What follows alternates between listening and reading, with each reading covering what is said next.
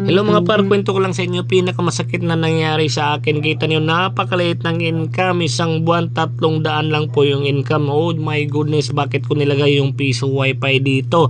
Sabi kasi ng mga installer natin dito daw ilagay kaya pala meron silang nakitang magandang babae, anak na yung may-ari ng bahay na yan. So yung nangyari, pinull out namin yung piso wifi namin. Ayan, ay nasa loob yung piso wifi namin sa loob ng sasakyan. So ayan, tatanggalin nila yung cage, buti na lang dalawa yung dala namin na sasakyan. Minivan at saka chariot. Sa mga gusto magpiso wifi dyan kuha kayo ng chariot. Kailangan po yan.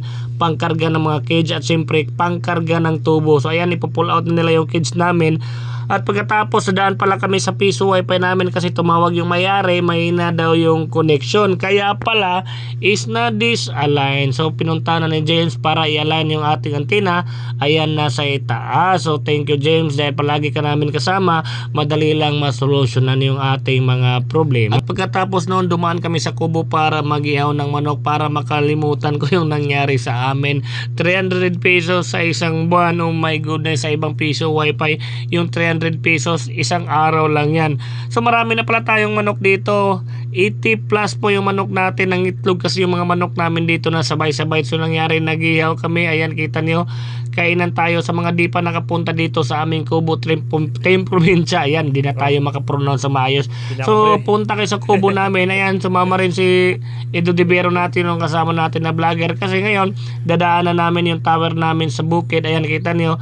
Oh my goodness ako lang yung cover. Itipid pala mga par yung aming tower dito. Ayan kita niyo ayan po yung ating mga sinder. Napakaganda tingnan mga par. Itong box na to par parang piso wifi. Maraming nagtatanong par kung piso wifi ba yan. Pero hindi po yan piso wifi mga par. Lalagyan na lang po yan ng mga adapter at saka outlet dyan kami sumasaksak. So si Papa para yun nagpaaso na. Hindi ko alam kung ano sa Tagalog. So ayan si Lolo karga-karga niya yung piso wifi. Kasi ngayong araw pupunta kami sa bukid. Maghanap kami ng lalagyan namin ng piso wifi. So kahit saan pupunta kami at yung nangyari dito kami dinala. Ayan kita niyo napakaganda ng lugar mga par.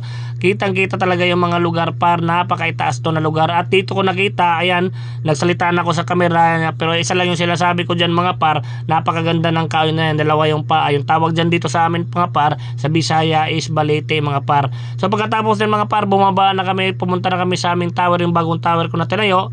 So yung tower natin dito mga par, pareho lang sa unang tower natin. Merong maliit na box sa ibaba parang piso wifi. Pero kurinti po yan mga par, wag niyo po i-open. Baka makurinti kayo at makasayo kayo ng ari king king.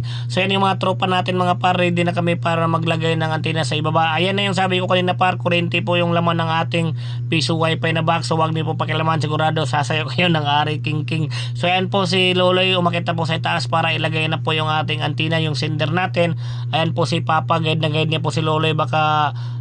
ano mahila na yung wire at hindi na gumana mga par. So ngayon mga par, ito po yung link natin mga par. Kita niyo align po yung isa at yung isa po mga par. Oh my goodness, disalign po yung ating antenna. Walang ka-align align kawawa naman yung ating mga par. Yung client natin mahina yung connection mga par. Pero huwag kayong mag-alala tapos na po i-fix mga par. At kita niyo ready na kami mag-install. Ayan na po yung receiver namin nakatutok po sa ating tower. Ayan ayan ayan ayan ayan mga par yung tower natin. At ready to rumble. Ay hindi pala Easter ready to rumble. Ready na po yung ating piso wifi na install. Ayan po yung piso wifi natin mga par. Ayan, nasa loob na po mga par. At konting-konti na lang po mga par. Matatapos na kami mga par. At yun mga par, dahil gagawin na mga par, pumunta kami sa aming tower. Kita nyo, na-align na ni Loloy mga par. Napakaganda na ng alignment. Malakas na po yung ating connection mga par. Kita nyo, ando na si Loloy para i-fix na po lahat yung ating mga cable, mga wire natin. At yung mga tropa natin mga par, kita nyo, relax na relax na. Kita niyo ba paka, mga par napakaganda no. Oh, napakaganda ng view mga par, napakaganda sa mata. So nakalimutan ko na yung income na 300 pesos lang mga par. Alright, so sa mga gusto pala mag-order ng piso wifi mga par, message nyo lang ako sa aking Facebook page. May discount mga par, basta i-share niyo yung video na to.